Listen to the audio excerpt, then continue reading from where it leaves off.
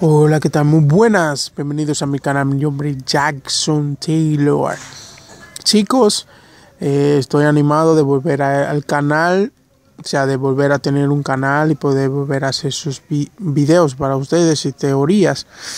Solo le pido que me apoyen, que compartan el video, den sus likes y den sus comentarios para ver qué piensan de las nuevas teorías y los nuevos análisis que se está haciendo en el canal.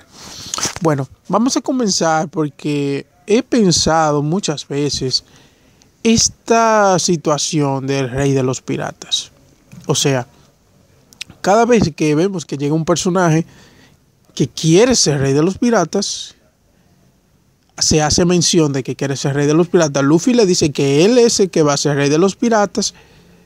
Entonces vemos en esa discusión, vemos siempre, siempre y sabemos de que el único que se va a convertir en el rey de los piratas será Monkey D. Luffy. Pero ¿por qué lo digo? No porque, o sea, Luffy no será el rey de los piratas, no solo porque es el protagonista, porque hay muchos más personajes más fuertes que si quieren ser rey de los piratas, lo conseguirían. Pero el problema es que Luffy será el rey de los piratas no solo porque será fuerte, que va a ser uno de los más fuertes del, universo de One Piece. O es una persona solamente que lo quiere. No, será porque tiene la pieza clave para conseguir llegar a la isla donde está el One Piece Rafter. ¿Cuál es esa pieza clave? Nikon Robin.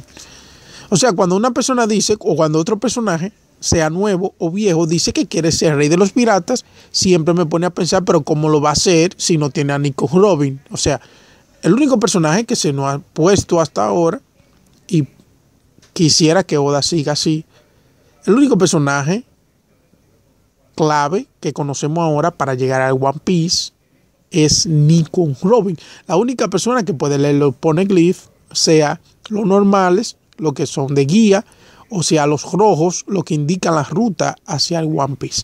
O sea, si tú no tienes a esa persona, tú nunca podrás ser el rey de los piratas. Por eso cuando Luffy siempre le hace mención de que él será el único rey de los piratas, tiene totalmente la lógica de que eres el único que puede llegar a serlo, porque tiene de su lado la pieza clave para conseguir, para llegar a la ruta donde está el One Piece. Es como tener el mapa, es el único que posee eh, una persona que puede leer el mapa, o sea, es el único que puede decir, bueno, vamos a llegar allá, vamos a ir consiguiendo la información de isla en isla para poder llegar a Rafter. Pero otro pirata que no tiene a Nico Robin, aunque se encuentre los poneglyphs, aunque le digan historias, no va a conocer la verdadera ruta para llegar a One Piece. Entonces me he pensado, en el nuevo mundo han surgido muchos personajes, pero ninguno de ellos lo hemos escuchado que quiere ser rey de los piratas. O sea, o Rey de los Piratas ha perdido valor, o lo ven, ven Rey de los Piratas como otra cosa. Por ejemplo, Don Hao, cuando Luffy le hace mención de que él será el único rey de los piratas, o será el rey de los piratas, él le hace mención de que rey de los piratas no es aquel, o sea, no es aquel que encuentra el objeto, es aquel que venza a todos los poseedores o a todos los usuarios de Haki del Rey le hace esa, o sea, le dice esa respuesta. O sea, ya vemos aquí que el rey de los piratas no solo es, ir, encontrar un mapa, trazar un mapa, ir a una isla, encontrar un tesoro, salir de ella y proclamarse rey de los piratas. O sea, aquí hay algo mayor. Aquí hay una batalla, o sea, una batalla de fuerza, de valor. Entonces ya vemos de que al rey de los piratas se le ha ido agregando muchas cosas más fuertes todavía. Ahora es todo aquel que venza a todos los poseedores de Haki del Rey, que se le intemporgan en su camino. También eso, eso lo proclaman rey de los piratas.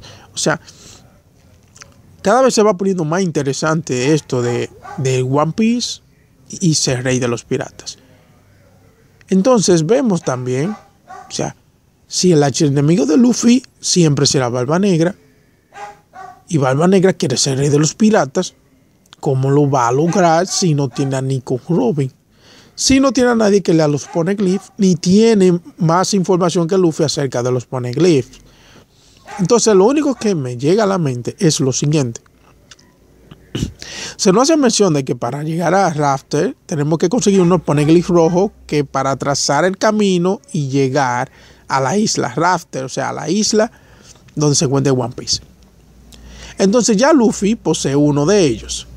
Dos de los Yonkos poseen los dos los dos siguientes son cuatro, falta uno, hay uno que está perdido.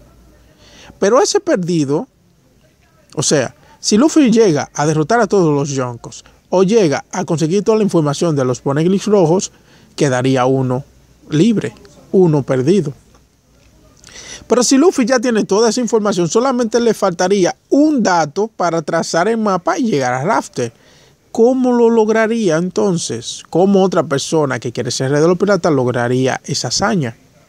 La única forma es poniéndole un anzuelo a Luffy, haciéndolo que vaya allá y lograr robar esa información. ¿Cómo? La única forma que se me ocurre es que Barba Negra encuentre el último Poneglyph.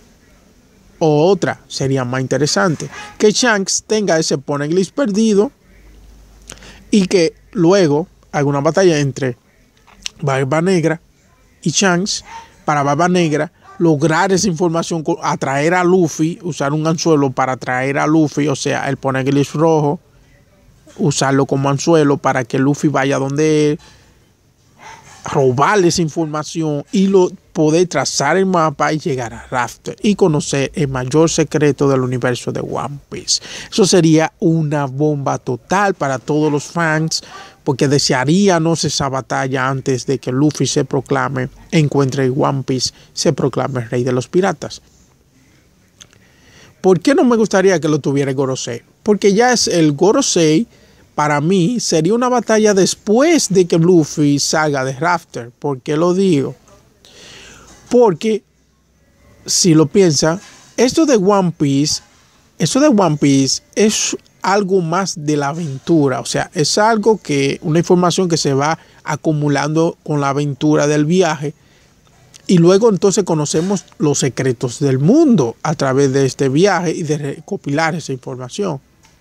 Pero ya el Gorosei, ya el gobierno mundial, es un sistema que está gobernando el mundo. O sea, ya cuando sabemos la verdad del mundo, la verdad del universo de One Piece, ya podemos entonces contrarrestar este sistema que ha creado el gobierno mundial. O sea, ya sería una batalla, esa sería ya la batalla decisiva para sacar al mundo de la esclavitud. Junto, junto a, o sea, junto a Luffy y todos sus nakamas, ir al, al Gorosei, al gobierno mundial y derrotarlos, a Marilloa. Porque así entonces de, destruiría lo que es el sistema mundial que ha creado el gobierno mundial. O sea, después de ellos saber ese secreto, ya lo pueden dar al mundo después de derrotar al gobierno mundial, saben por qué deben de enfrentar al gobierno mundial y qué le deben de decir a la gente luego de derrotarlos a ellos. O sea, qué pueden ya decirle al mundo entero, cuál es la verdad. Entonces, para mí ese sería todo el sentido de ser rey de los piratas, conseguir el One Piece y derrotar al gobierno mundial. Bueno, Nakama, espero que le haya gustado. Disculpen ese sonido del perro. Era mi perro llamándome. Parece que quiere que le dé un paseo. Entonces, Nakamas, hasta aquí el video. Compártelo, suscríbete. Estoy emocionado de volver a hacer un canal, volver a hacer teorías, análisis, comentarios. Solo espero que me apoyen, comenten, denle like. Díganme qué le pareció el video, qué le pareció la idea. Así que le hablo Jackson Taylor y hasta la próxima, Nakamas.